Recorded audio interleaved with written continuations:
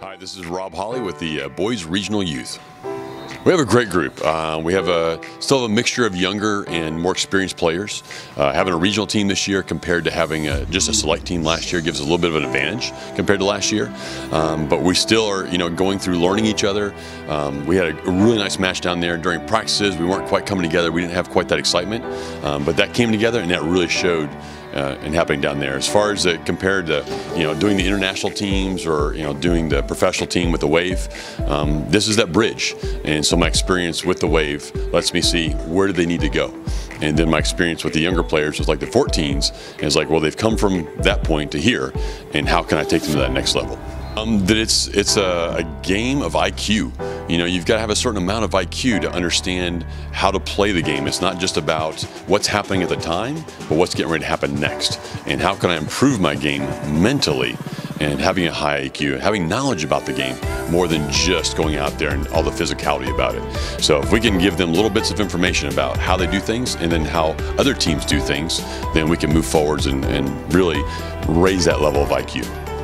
It's definitely growing. Uh, we have high school starting. Uh, Venice has a new program uh, coming this year. So there are programs growing out there. There's a big movement right now for college. Uh, Motor MV uh, B has started a program. It's this foundation that they're doing fundraising, trying to get mainly Division One, Division Two programs going. And with that, that's going to have a trickle down effect for the interest level and uh, the investment uh, for kids that have opportunities to play. So I think as that happens, as more college opportunities become available, you know, we started Webber last year. Uh, we had Warner right across the street from them with the team. Um, I think as those programs begin to continue growing, uh, that we're going to have more opportunities for the guys, and they're going to see that as a, a viable opportunity to play play, not just something that is way you know far away for them. So we're definitely growing. You know, we've um, got two teams here that are regional level, but we're looking at going to select next year. So trying to get that age level just a little bit younger so we can develop them a little younger, keep them in the program longer, and I think we're going to see more success as we, we continue. Goals for the team, win a gold medal. I'm going to be honest. I'm, I'm, I'm not going to, you know, it's like, well, I want them to do well, and I want, no, we want to win a gold medal, and we believe we can do that. Uh, we have the players to do it. Uh, we've got an amazing outside in, in Omar Hoyos. Uh, we've got some great setters.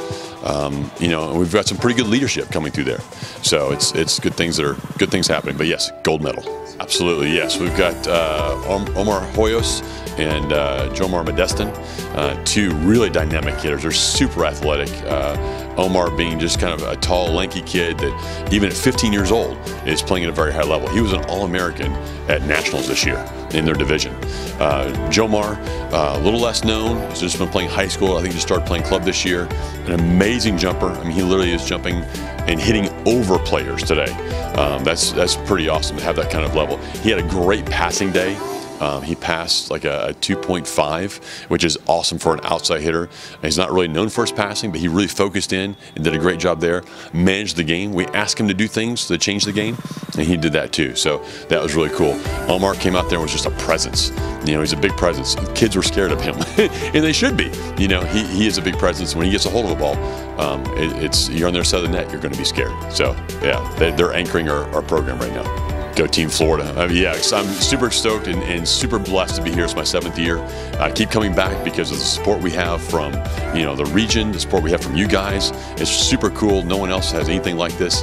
And so it's just really, really, you know, uh, a blessing to be here and, and so much appreciation for everything that the region does and that the guys and the girls here and the coaches are so invested in it. I don't think there's another region or program like it anywhere.